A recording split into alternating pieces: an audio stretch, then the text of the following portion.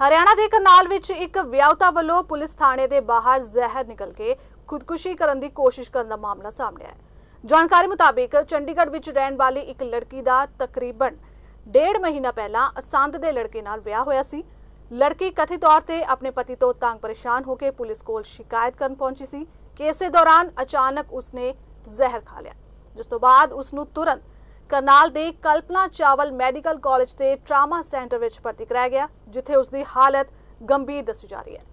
police ਲੜਕੀ ਦੇ ਹੋਸ਼ ਵਿੱਚ ਆਉਣ ਉਪਰੰਤ ਬਿਆਨਾਂ ਦੇ ਆਧਾਰ ਤੇ ਕਾਰਵਾਈ ਦੀ ਗੱਲ ਕਰ ਰਹੀ ਹੈ विकास के साथ और अब विकास इसको ठीक तरह से नहीं रख रहा उसी की ये कंप्लेंट करने के लिए यहाँ करनाल आई हुई थी और इसने कोई जहरीला पदार्थ खाया है अब इसकी हालत ठीक है लेकिन अभी फिलहाल ध्यान देने के काबिल नहीं है